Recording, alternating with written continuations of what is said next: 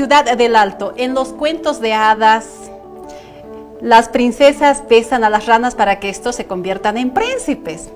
¿Usted alguna vez se ha imaginado tomar un jugo de rana? Pero se lo contamos a continuación. No beso a ranas. Pero debes besarme. Mira, aparte de ser increíblemente guapo, ¿vale? También pertenezco a una familia fabulosamente rica. Eso pasa en los cuentos de hadas, pero en la ciudad del Alto las ranas no se besan, sino se las licúa y se las bebe como una medicina que cura muchas enfermedades.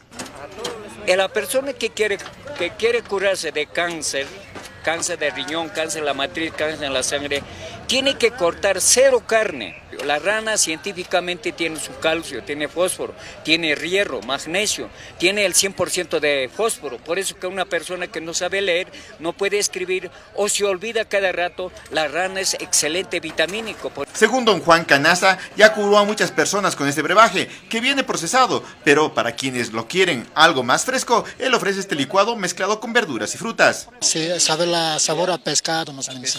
Sí, No tenía, lo perdía por veces, no recordaba dónde dejaba una cosa, pero con esto sí he recuperado. Yo me estaba desvaneciendo ah, y él corrió y me dio ese mate de rana y me alivió. Tal vez no me convierta en un príncipe bebiendo este jugo, pero de seguro que yo jamás olvidaré esta nota. Sabe a rana.